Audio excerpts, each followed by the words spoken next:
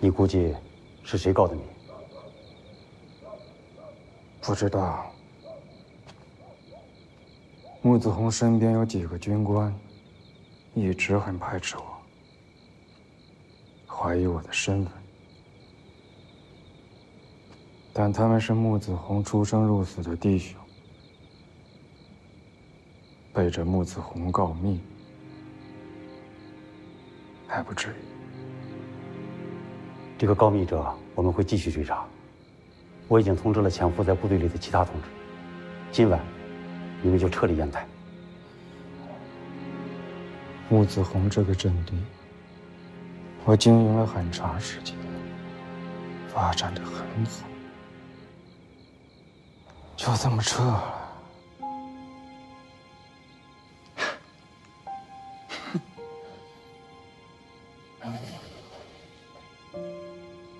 其他人撤，我留下。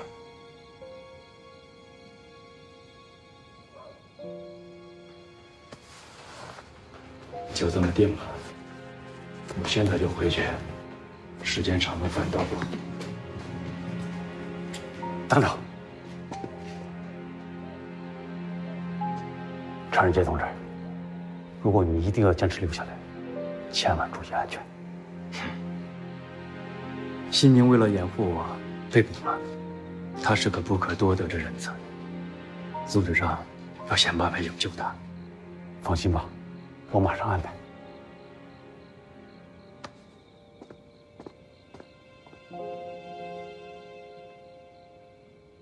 常仁杰是不是共产党？等他回来再说。可即便他是共产党，那地方上也不能到部队上来抓人呢，啊？谁把这事儿捅出去的？老子最恨的就是内奸。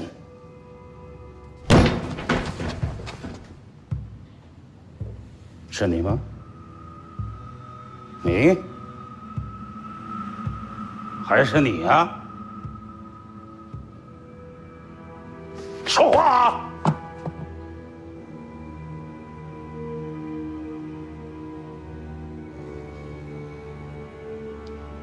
坐。坐。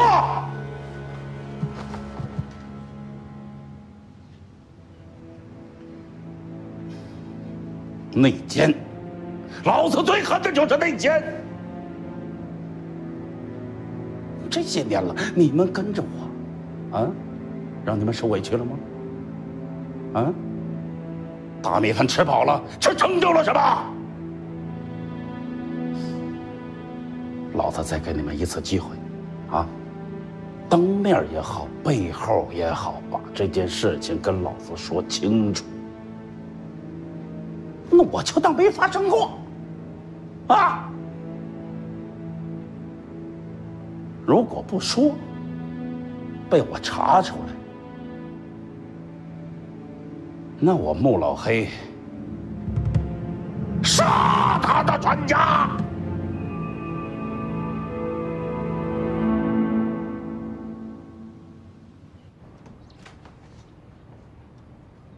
报告。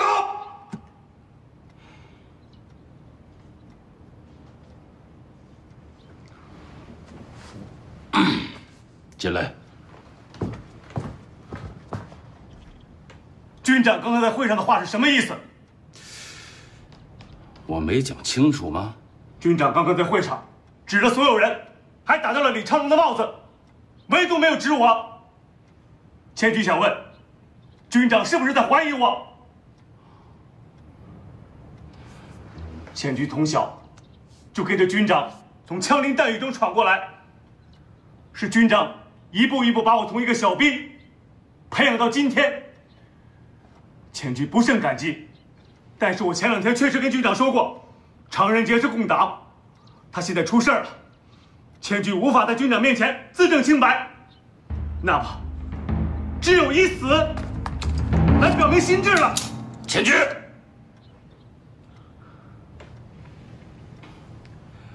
我们一起出生入死，说句话，是不是你告的密？是还是不是？只要你说，大哥就信你。不是我，千军自小孤苦伶仃，兄弟一人，在我心中，军长如父如兄。可我没想到，军长现在怀疑我，我还不如一死了之呢。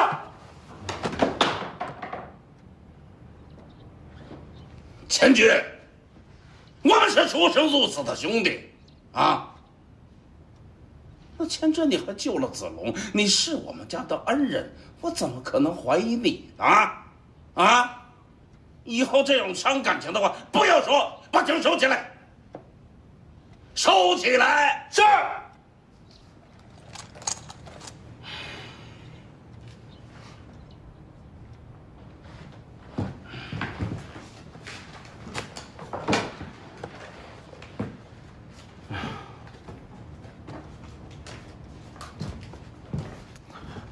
刚才军长在会上的话说的有道理。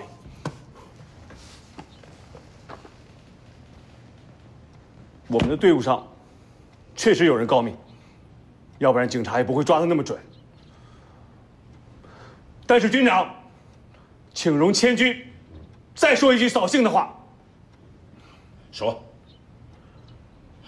这次事情的发生，对咱们来说未必不是一件好事儿。说来听听。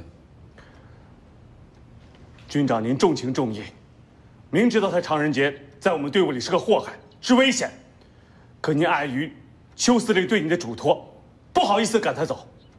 那这次王新年，正好帮咱们把他赶走了，等于帮咱们拔掉了一个定时炸弹。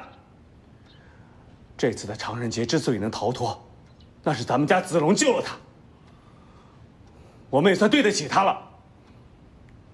军长，从今往后，这个常仁杰咱们不要再见了。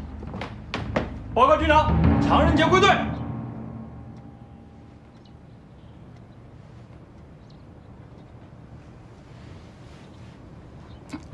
进来。军长，常仁杰向您当面请罪。请罪？常仁杰，你知不知道你闯了多大祸？我的弟弟现在在医院里躺着，生死未卜，你知道吗？你还敢回来？你是不是想我现在拿绳子把你绑起来，交到地方上去？参谋长不必费心，如何发落，我听由军长处置。军长，好了，先出去吧。军长，我的话没有听见吗？出去！是。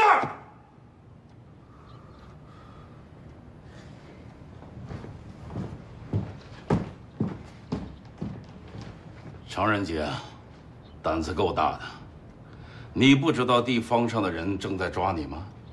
你还敢回来？我看这样，就当我没见过你，你赶紧走，从此以后咱们井水不犯河水，啊！军长，仁杰问心无愧，何必潜逃？再说子龙因我受伤，生死未卜，我怎能一走了之？军长如果想处罚我，就把我绑起来交给地方，仁杰绝无怨言。你不怕死吗？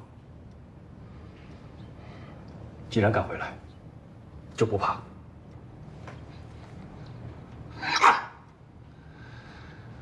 既然你这么讲义气，我也不能对不起你，啊，留下吧。不过，关于你那些主意啊，以后就不要再讲了，免得南京政府抓到我的把柄，啊。还有，参谋长，他们这些人呢，不太喜欢你。不过，也不能怪他们啊，他们也是为了这个队伍好，啊。军长放心，麻烦因我而起，我不计较。那就好，先去歇着吧。军长，子龙怎么样了？我想去看看他。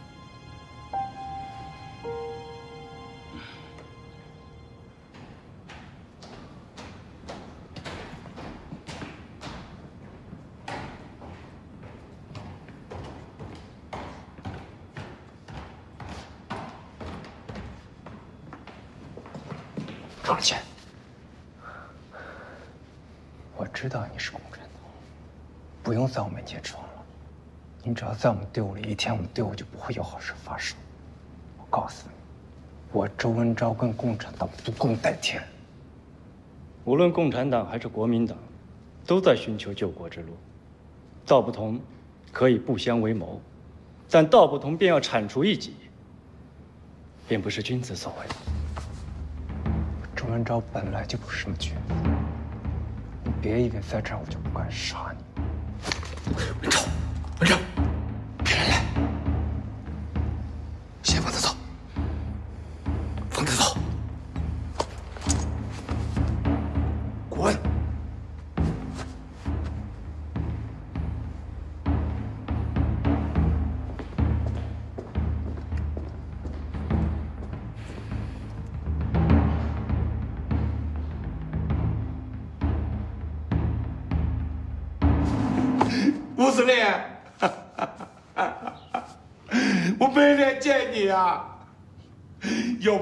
话跟你说，我早自杀了。我，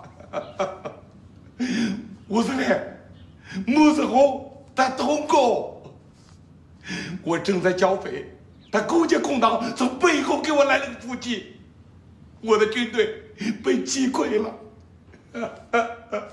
我孤苦经营了十年的队伍。就这样没了，队伍没了，倒不足为奇。可是穆子宏他他竟然把我的队伍送给了共产党。你们两支队伍交火的事情，委员长已经知道了，正在为此事发火呢。现在中央已经统一了全国，就是你们这些地方的势力，成天是你打我，我打你，自我消耗。可这事儿跟共产党扯得上关系吗？吴司令，当然有关系了。他的队伍里面潜伏了不知道多少共产党，那些南方的共党都跑到他那儿去了。吴司令，他甚至对外宣称，他对中央剿共政策极为不满。共党到他那儿去，他是有多少要多少啊！刘大头，你少在我这儿哭哭啼啼的，你到底想说什么？吴司令。我想面见委员长，当面向他汇报，进屋子里成全。哼，刘大头，你算个什么东西？委员长也是你说见就能见的吗？无忌以此书与爹爹永别矣，吾作此书时，尚为室中一人。爹爹看此书时。吾已成为阴间一鬼，吾作此书，泪珠和笔墨齐下？不能经书而与戈壁。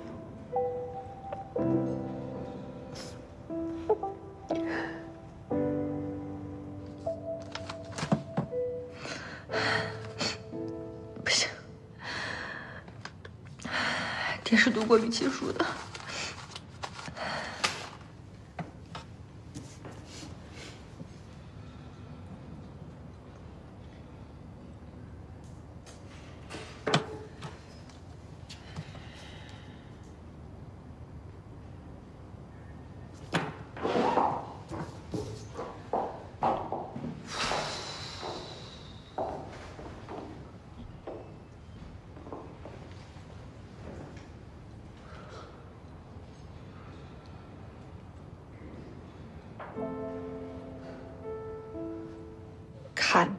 不要紧，只要主一针，杀了我新宁，还有后来人。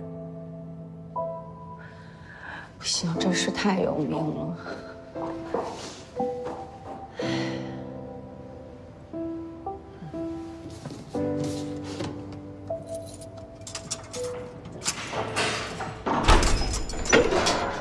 秦小姐，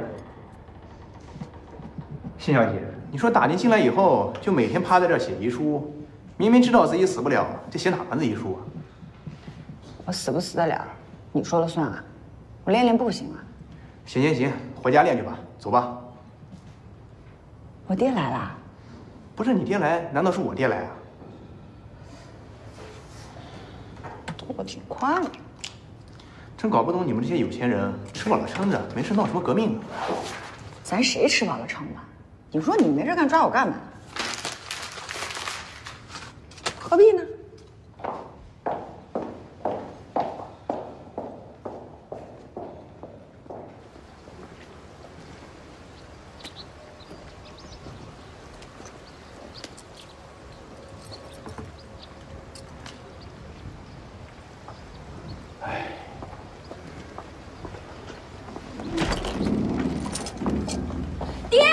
灵儿，爹，哎呦呦呦呦呦，哎呀，爹的宝贝闺女啊！好了好了，咱们回家吧。嗯，不回不回，我再不回。我在这儿干什么？赶快回家啊！好好爹跟你说点话啊！爹，我想您了。哎呀，爹更想你啊！快点快点！哎，爹，总算出来。您看过《雨期书》吗？什么语气？嗯，这不重要了。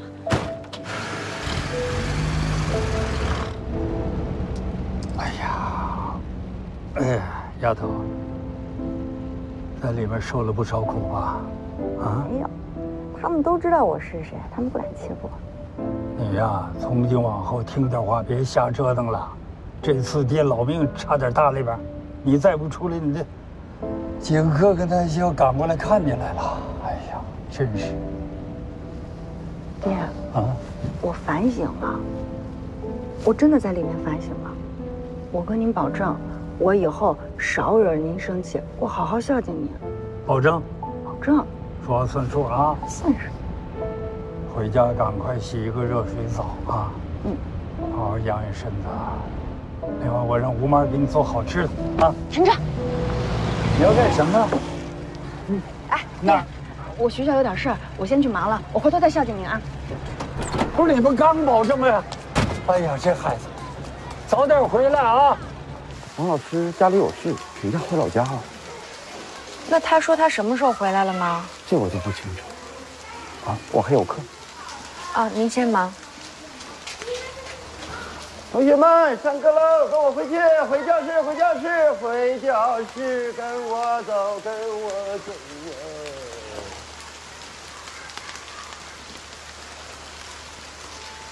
王老师是不是出事了？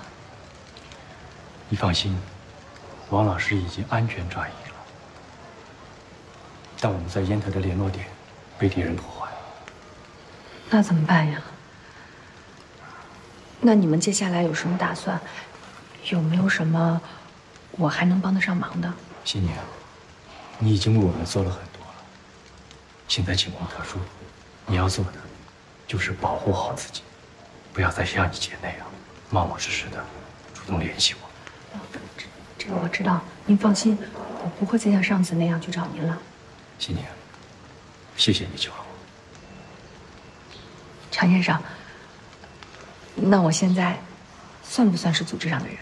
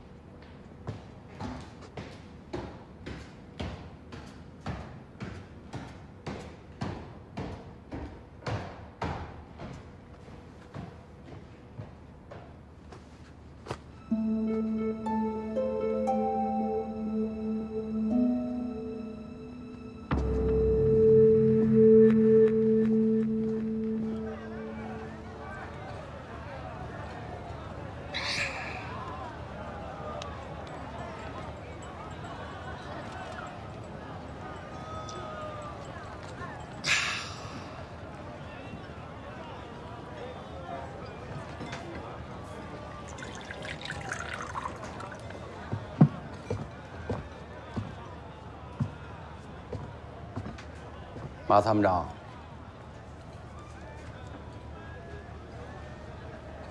你怎么在这儿啊？有个朋友想见你。想见我？没空，离我远点。马参谋长，多个朋友多条路，去见见也无妨嘛。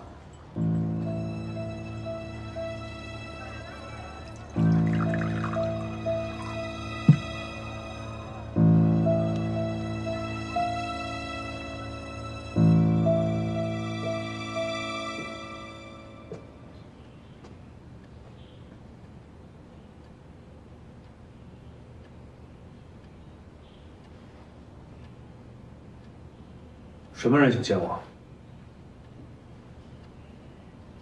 我问你呢。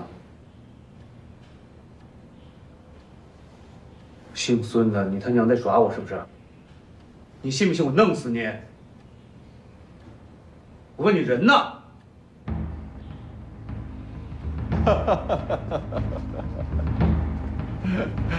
怎么这么大火气啊，马参谋长？怎么是你？你不是走了吗？脚长在自己腿上，能走就能回。坐。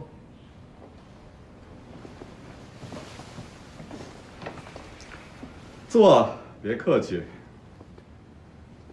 你他娘的怎么回事？啊？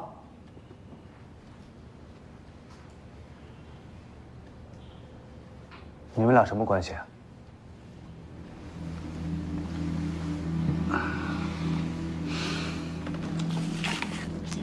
我说王市长怎么对我们队伍里的事情了如指掌，原来内贼在这儿呢。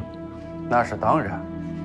他穆子红也不想想，那一营的兄弟都是我亲手带出来的。他现在的手下，全都是我的眼线。此刻他就算在那边放个屁，我们这儿也一清二楚。什么屁不屁啊，多难听啊！马参谋长，我有必要告诉你一下，他现在啊是师长了。师长？谁任命他当的师长？当然是中央任命的。他有队伍吗？有啊。现在在穆子红手里，但很快就易主了。你什么意思？穆子红通共，南京政府已经有确凿证据。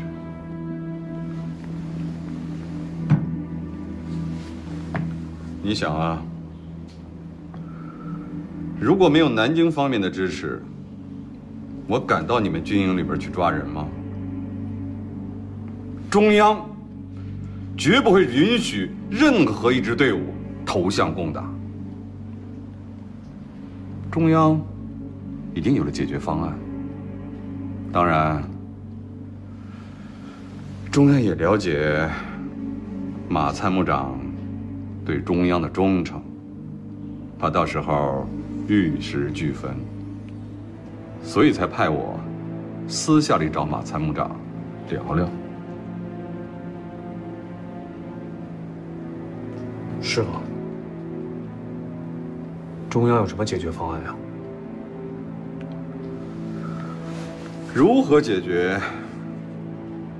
中央肯定有了方案，但是不是你我这个级别的人能知道的。我现在只想知道一点：马参谋长，你想如何选择？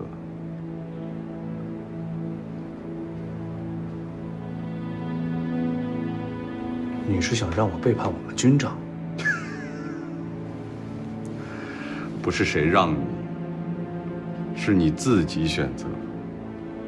你把我当成什么人？什么人？一个马上就要跟着穆子红一起倒霉的人。马参谋长，虽然我刚来不久，但是对穆子红的部队还是有所了解的。你一路跟着穆子红干到了现在，是他的老功臣，他也答应你，将来会把队伍交给你。但是这两年情况有所变化，常仁杰在穆子红的心里越来越重要。现在的情况是，就算中央不动穆子红，那穆子红的队伍。将来会交给谁？是你，还是常人杰？我想你心里应该有数吧。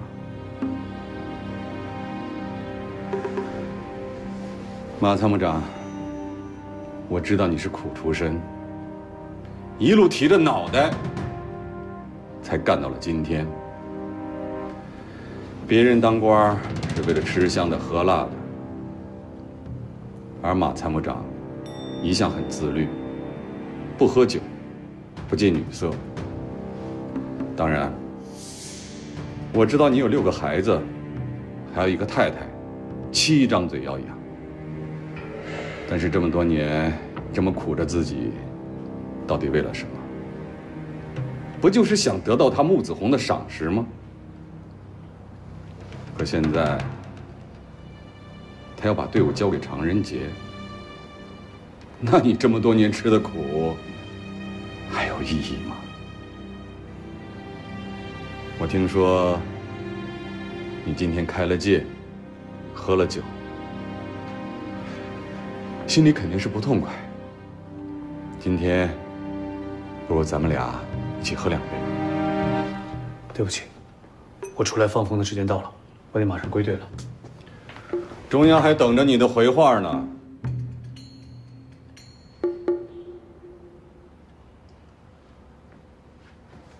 王师长，我跟着我们军长快二十年，名为上下级。实为生死兄弟，你让我背叛他，是不可能的事情。我比谁都了解我们军长，他把这块地盘和这支队伍看得比什么都重要。一旦发现共党想控制这支队伍，他绝对不会坐视不管的。也许会有那么一天，但是你肯定看不到。你到底什么意思？现在无非两种可能：一，中央解决了穆子红，你会倒霉；二，共产党掌控了这支队伍，你同样倒霉。我不懂你在说什么。等等。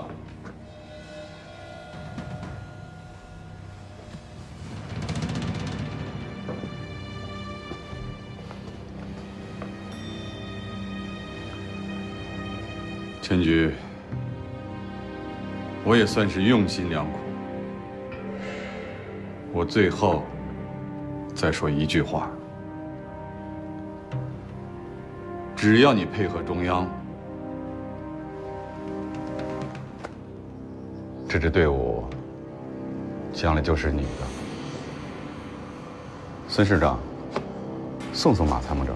是，不必了。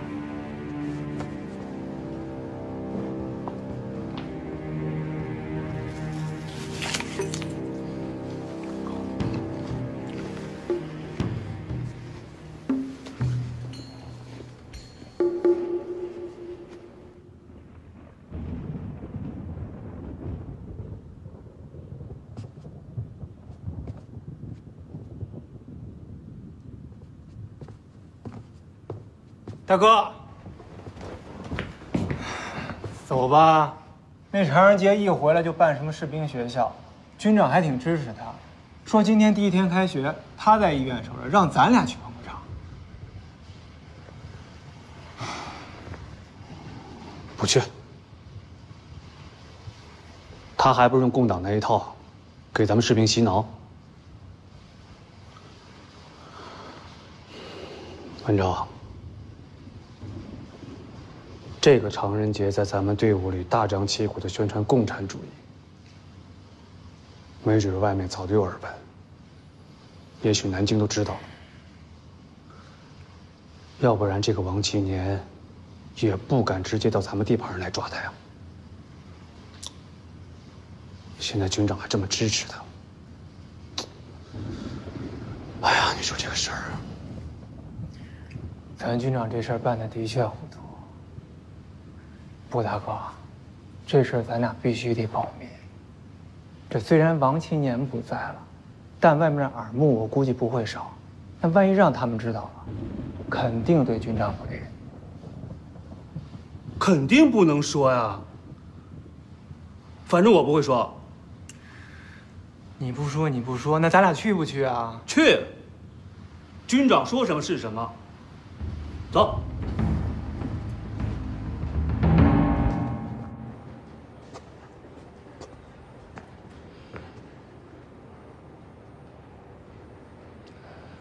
我兄弟怎么样了？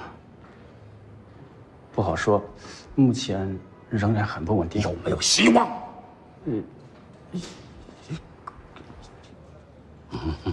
滚！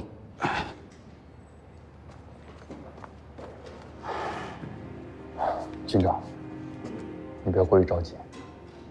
我看情况已经比前两天好多了，而且清醒的时间也越来越长。但不管，你在这儿守着子龙，我回趟老家，把他娘接过来。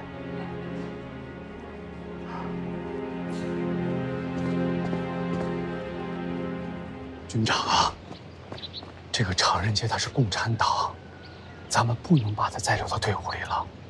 您带出这支队伍不容易，大家跟你干这么些年也不容易，军长。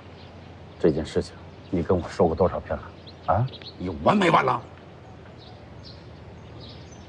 开门！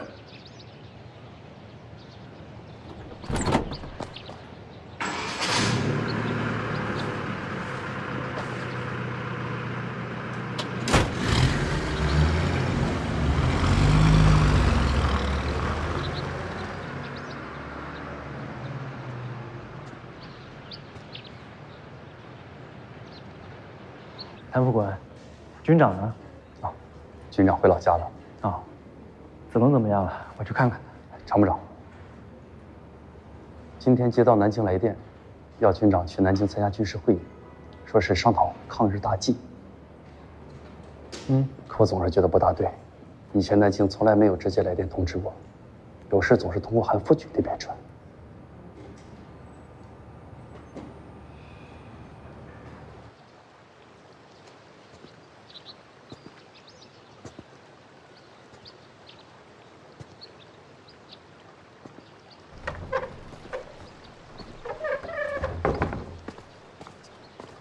么说？通过在其他队伍里的同志了解了一下，有的也接到了去南京开会的通知。不对，不对，这一定是有问题。前段时间，王庆年赶到部队里来抓我，很明显是背后有人。穆子宏驱逐了身为烟台市市长的王七年，这相当于给了南京政府一耳光啊！眼下，东北的局势并没有明显的变化，可在这个时候，一向不抗日的蒋介石，却召开抗日的会议。这个会一定另有用意。苏局长什么意思？组织上的意思，你可以出面，劝阻穆子红不要赴会。他在关键的时候保护了我们很多同志，他现在有危险了，我们不能袖手旁观，要尽朋友之责呀。明白。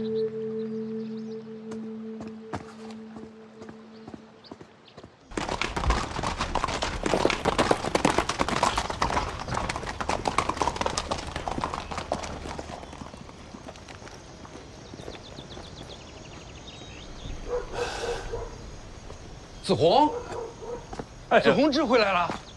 二叔好。哎呀，你可回来了，多年不见，以前可好啊？好，好，托您的福，全村平安。这几年啊，乡里闹土匪，到处都是抗粮队，杀人放火的。哎，就咱们村，没人敢骚扰，这不都是因为有您吗？看您说的啊，我二姨呢？哎呀，俺这位嫂子呀，真是世上难找，哪回听说你回来啊，才肯搬到这边来住。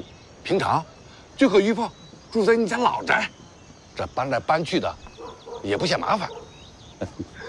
二叔，那您先忙，我去看看我二姨。哎哎，好，你去你去。好，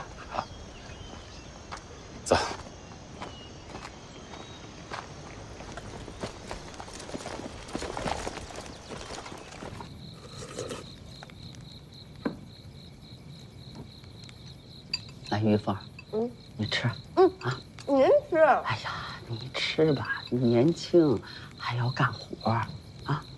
我吃素了，这大鱼大肉的我早都不吃了。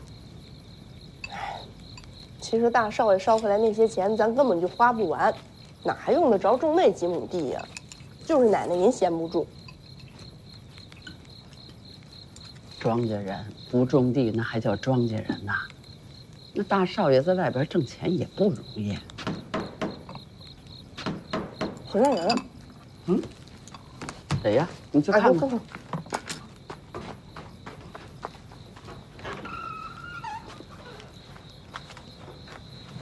腾，啊，腾啷的起来的，腾啷的起来，腾啷的起来的，腾啷的起来的，腾啷的，腾。二姨，给您请安了。哎呀，子红啊！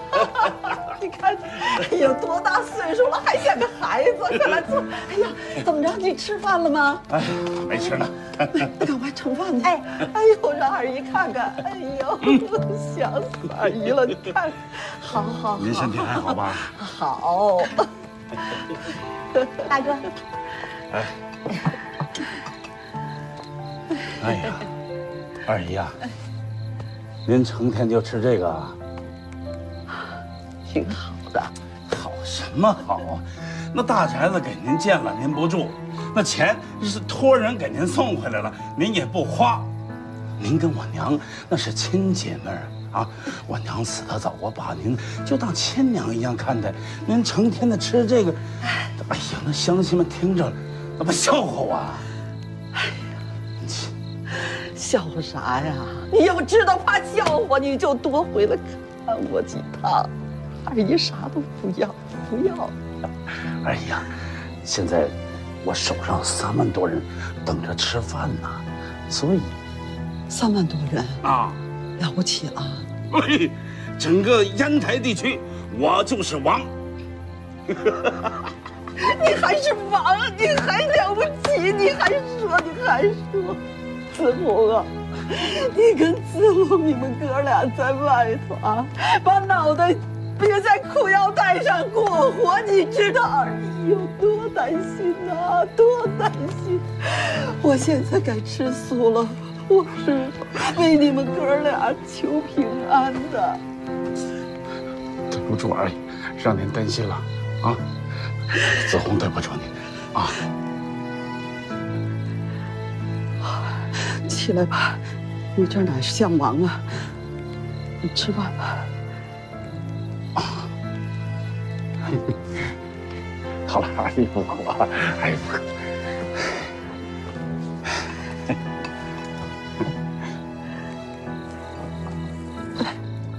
啊，鱼，哎好，嗯，您放着，我自己拿。嗯，子龙咋样啊？他咋没跟你一块儿回来呀？啊，子龙啊，那个二姨，子龙他咋的了？就因为这个，子龙就挨了一枪。那他这伤是因为救了一个人啊。那这一枪也算是没白挨。他伤得重吗？不重，如果重的话，我还敢跟您说吗？啊，这次把您请过去啊，就是好好陪陪他啊。好。哎，呃，还还有一件事得跟您说。啥事儿啊？嗯，本来想在子龙留洋之前啊，把他婚事给办了，可是没办成。为啥呀？是是那新家他不同意？不是人新家不同意，是他没看上人家。唉，他喜欢上了一个唱戏的。啥？唱戏的啊？我我把他交给你管教啊，子红，你没管他呀？我管了，我管不了他呀。那子龙什么脾气，您还不知道吗？啊，所以我请您去啊，就是说说他，啊。哎呦，走走走！哎呀，这孩子，你说他他。